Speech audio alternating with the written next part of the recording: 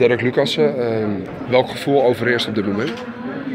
Uh, nou, ik heb wel een goed gevoel. Ik denk dat we vandaag een goede wedstrijd hebben neergezet met uh, heel, heel veel energie. Alleen uh, jammer dat het 2-2 is geworden, want ik denk dat we het wel hadden kunnen afmaken al in de eerste helft. Ja, want de eerste helft ja, is natuurlijk euforie. Je staat 1-0 voor. Had eigenlijk meer kunnen zijn, misschien wel moeten zijn.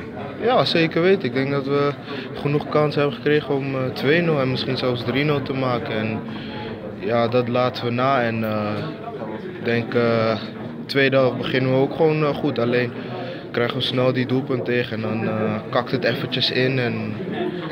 Maar daarna, na die 2-2, zie je dat we gewoon heel veel energie weer erin zetten. En uh, kon het alle kanten op.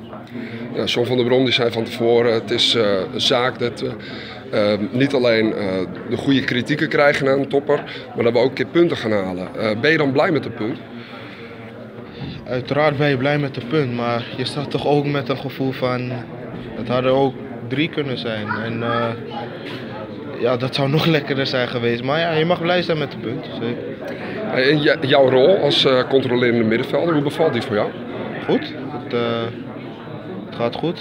Ik speel constant.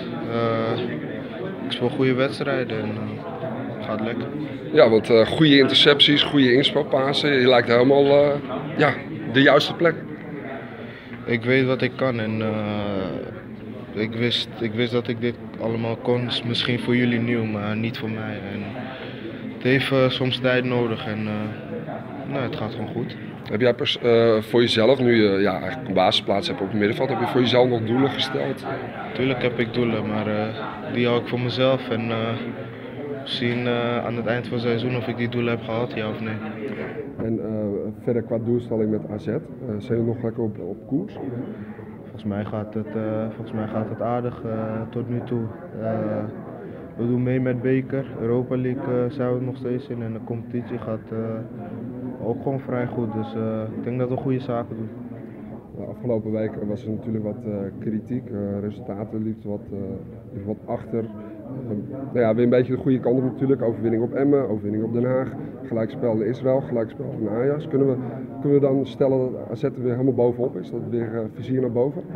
Oh, ik denk het wel. Ik denk dat we gewoon de lijn zoals het nu gaat, dat we die moeten doorpakken. en, ik heb er heel veel vertrouwen in, want we hebben gewoon een goede ploeg. En uh, ik denk dat het alleen maar beter kan worden. Dankjewel man.